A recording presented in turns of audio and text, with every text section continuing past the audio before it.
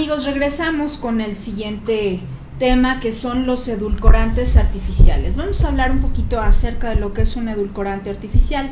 Los edulcorantes artificiales también se denominan edulcorantes no calóricos. estos, estos normalmente son producidos por medios químicos.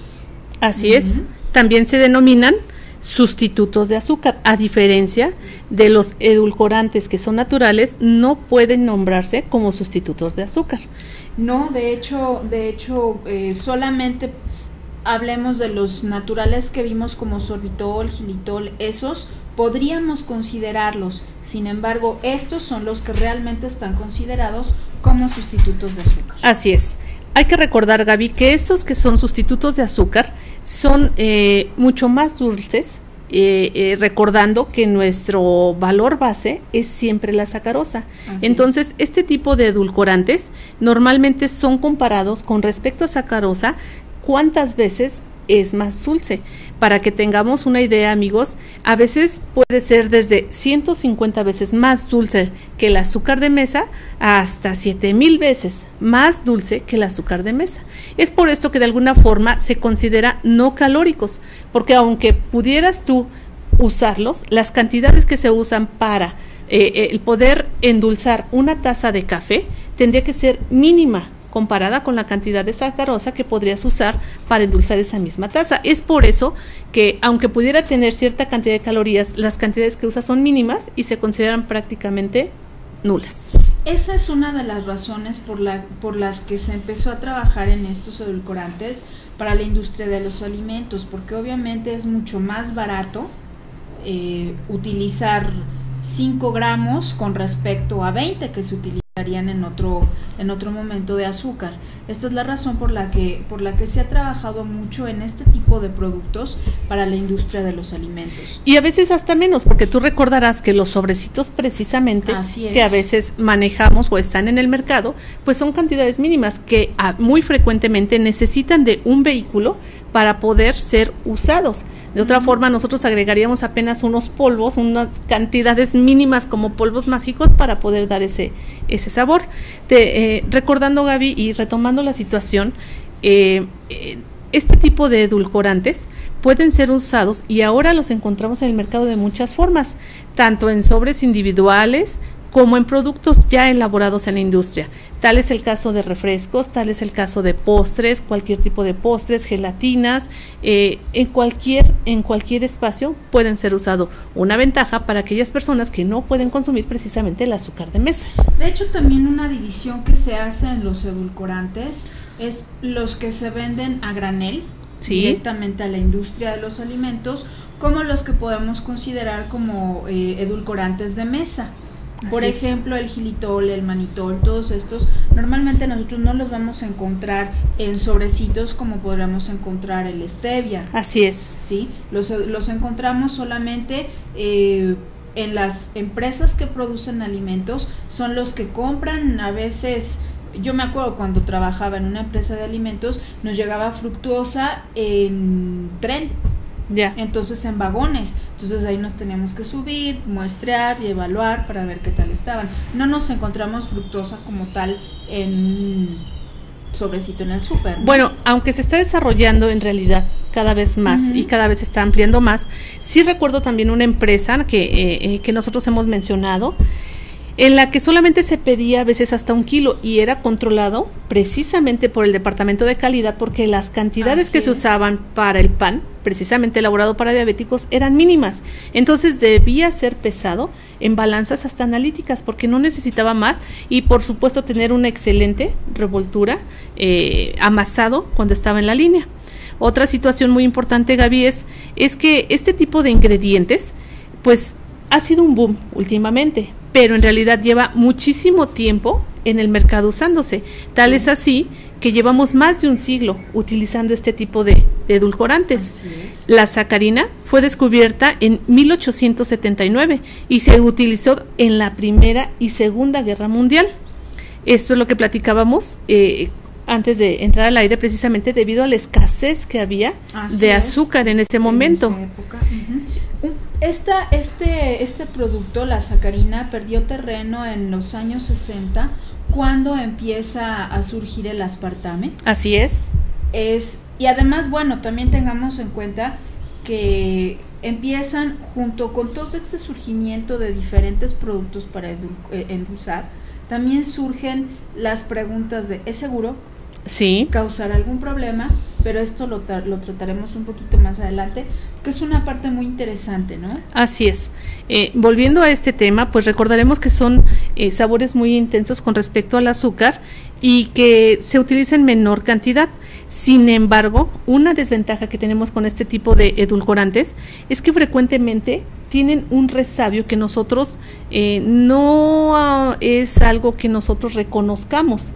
Se ha observado, se ha eh, establecido como un sabor metálico frecuentemente, un sabor amargo, a pesar de las cantidades tan pequeñas que se pueden utilizar para endulzar una limonada, una taza de café, un té, aún con eso se puede empezar a percibir. Sin embargo, se ha estado trabajando en casos, por ejemplo, con stevia, en donde se hace una, una, una sinergia de tal manera que puede reducirse este tipo de sabores eh, ya cuando tú lo tienes en uso. Esto está entrando muy fuertemente en la industria, precisamente mejorando y tratando de que este tipo de, edulcorantes pues puedan crecer precisamente en el mercado. Sí, cuando se tienen este tipo de problemas con los edulcorantes, se hacen normalmente mezclas.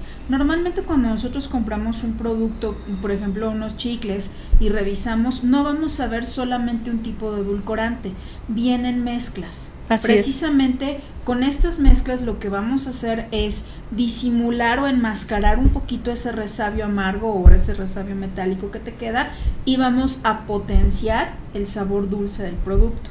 Hace unos momentos tú hablabas precisamente del aspartame y eh, cabe mencionar que pues así pasa en realidad en todos los alimentos, más cuando te involucras y te das cuenta de tantas cosas, pero no existe como tal un edulcorante perfecto si no es que hablamos de los naturales, en donde tiene un aporte mucho más alto de calorías.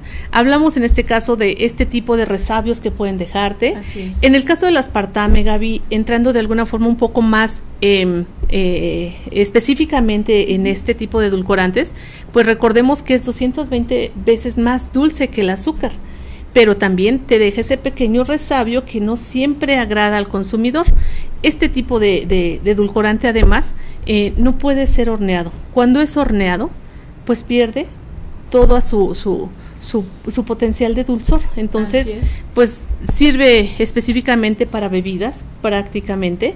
No hay una forma de, de poderlo llevar a un espacio más fuerte. Y pues este también es de los más reconocidos y que siguen en venta precisamente en el mercado. de hecho, Lulu, eh, cuando estamos hablando de edulcorantes en la industria de alimentos, tenemos siempre que enfrentar esa situación. Cierto. Cuando estamos hablando de edulcorantes naturales, normalmente estamos hablando de eh, moléculas que tienen como base el carbono. Sí. Cuando nosotros hablamos de edulcorantes que tienen, son sintéticos, en ese momento estamos hablando de cadenas un poco diferentes. Esto nos va a traer como consecuencia funciones y mm, reacciones diferentes cuando estamos sometiendo esos edulcorantes a, a procesos de producción. Así es. Entonces, siempre esta industria tiene que estar buscando el edulcorante adecuado para cada uno de los procesos. Como tú lo mencionas, el aspartame si lo calientas, pues pierde muchas de las características que tiene y entonces pues ya no nos va a servir para lo que lo estábamos necesitando. Un detalle... Ah, perdón. Por otro lado, el aspartame en su molécula, normalmente cuando nosotros vemos productos que contienen aspartame, siempre se menciona, está la leyenda de fenilcetonúricos, contiene fenilalanina. Así es. ¿Por qué? Eh, estábamos viendo en la pantalla la fórmula del aspartame. Vemos que está compuesto por una molécula de ácido aspartico, por una de fenilalanina y una de, de metanol. ¿sí?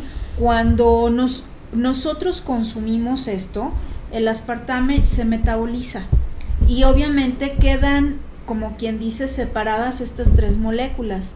La fenilalanina es un aminoácido que es importante para, el, para nosotros, está, está considerado como uno de los principales aminoácidos. Nada más que el problema es con algunas personas que son los precisamente fenilcetonúricos que no pueden eh, procesar esta, esta molécula y entonces a ellos sí les puede traer problemas. Yo eh, leí más o menos cómo está el problema y como que se empiezan a hinchar. Ok. Entonces, esto nos puede llevar a que si te empiezas a inflamar y te empiezas a inflamar de las vías respiratorias, vamos a tener un problema de, asfixia. Cierto, finalmente es un proceso eh, eh, en el cual no pueden metabolizarlo. Así es. Otro, otro, otro edulcorante artificial de gran importancia, como recordarás, Gaby, eh, tiene que ver con la sucralosa. Así es. A diferencia del aspartame, la sucralosa sí puede ser horneable. Así es. Enlazando, a diferencia precisamente del aspartame, pues no tiene como tal una situación en cuanto a la parte metabólica.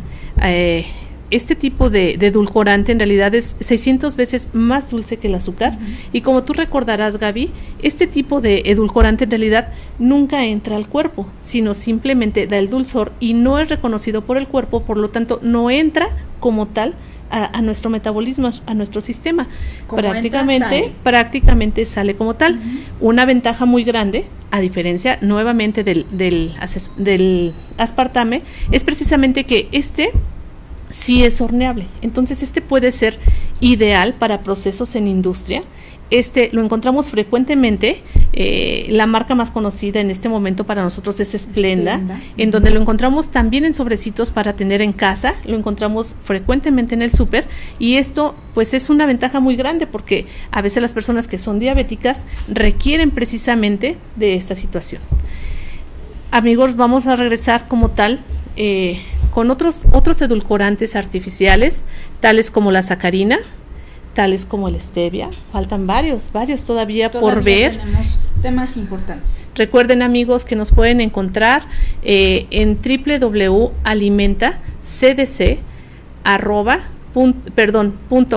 www.alimentacdc perdón, ya me estaba yendo por el correo, este, y nos pueden eh, también escribir para cualquier duda, para cualquier comentario, alguna, eh, alguna situación extra, información extra que requieran de, de esta situación, proveedores en alimentacdc, arroba alimentacdc.com.mx.